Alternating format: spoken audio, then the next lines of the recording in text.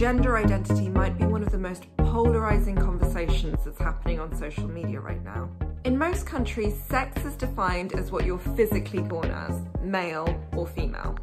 But gender identity can be much more fluid. A person can be born female and feel more comfortable or identify as male, or vice versa. I've been seeing a lot of young people all over the world from gender fluid societies talking about their traditions online. This is Geronimo from the Native American Navajo community in New Mexico.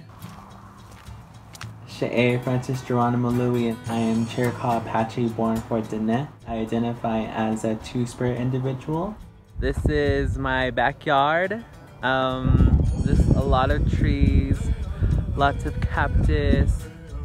There's some mountains over there. Geronimo identifies as one of the four sacred and ancient gender identities from his culture.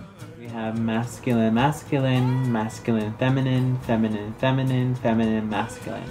Masculine feminine is something that I gravitate towards both spiritually, mentally, physically, and emotionally. The word for masculine feminine is nakle, someone who is male bodied, has a feminine nature, or who also takes on the roles of a woman and man.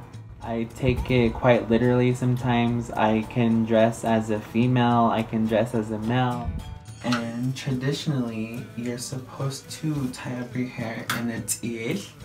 So men's traditionally would be right here, and women's traditionally we would be somewhere up here. We wear bandanas. I know that I'm a male, and I can take on the gender roles of a female. I weave, I cook, I clean, 8,000 miles away in India's capital, Delhi, gender has been more than just male and female for centuries. Hi, Namaste. I am Leher. I am 23 and uh, I was not born in a female body. In 2014, the Supreme Court recognized a third gender. I was assigned uh, sex male at birth and I changed my gender medically. However, uh, and not what in the Western terminologies you would call a trans woman or a transgender. In India, we're considered third gender or the sacred gender that has the power to bless or to curse. We're regarded as highly sacred and respectable. Gender has never been binary in India. It's always been very, very uh, fluid, especially in Indian mythologies.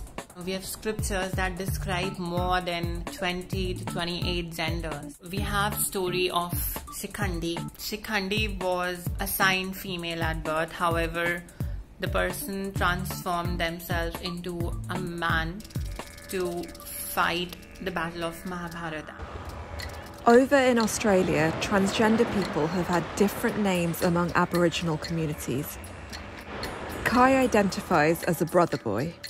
So a brother boy is a person that's been born female but has a male spirit or masculine spirit.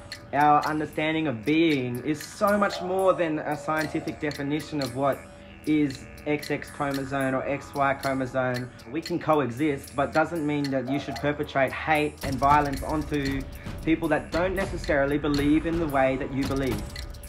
However, Kai's journey hasn't been easy, as he still faces discrimination in his own community. As someone that was born a woman and done women's stuff, and then transitioning into a man, you know, it's um, quite difficult at times to find your place as a person within my culture.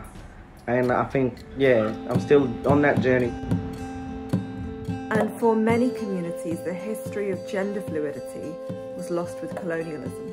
Sister Girls and Brother Boys history is difficult to document because of the effect of colonization. There's been a lot of shame and stigma. Pre-colonialism time, gender roles were actually widely accepted amongst my people and our tribe. Um, these individuals who were called Two-Spirit were widely respected when colonialism started to happen a lot of our people died and were murdered and so a lot of the teachings and understandings of these people were lost forced assimilation religious conversion all contributed to the idea that two individuals were bad people and they needed to go away. I face a lot of discrimination. It hurts my feelings. Leha also believes that colonization has meant there's less acceptance of gender diversity in India.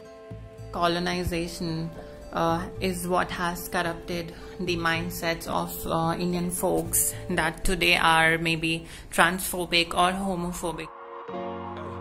Increasingly, the question of gender identity is becoming much more than how you choose to self identify. It can decide whether or not you can access biologically divided spaces like toilets and aid shelters, and some sports. But the question of who should have access to these spaces is one of the reasons why questions over gender has become so polarised in Western society. Yet some people question the idea of gender and believe stereotyped ideas around masculinity and femininity are limiting. And in some other parts of the world, the idea of just male and female have been seen as an oversimplification